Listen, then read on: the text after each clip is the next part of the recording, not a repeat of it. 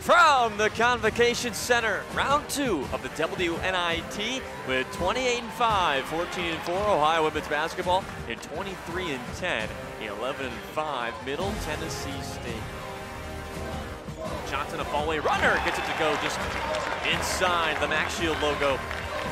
Painted area, those are the first two points today.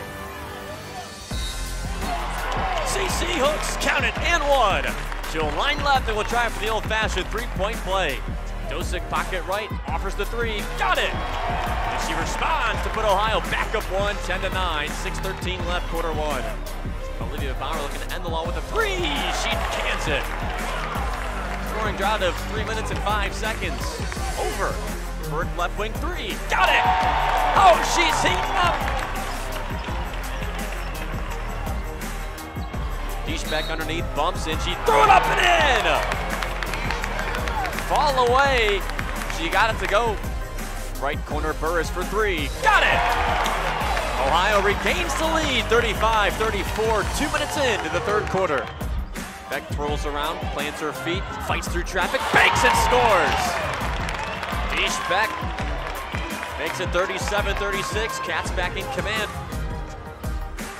She got deflected again on the kickout pass. It's Hooks. Hooks out of there with it. She's the only white jersey taking on four. Coast to coast, she banks and scores. 41-39. How does she do it, Gabriel? Two minutes left, quarter three.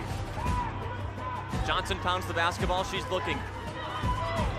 Gets it into Hooks. Pocket right, Hooks with four seconds left. Hooks has it baseline right, gets to the basket, banks it. Scores! She scores! Cece you wanna be kidding me? That's all she wrote from Southeast Ohio. Ha It's the most wonderful time of the year. It's Cece Hook season. 59-57 final from Southeast Ohio.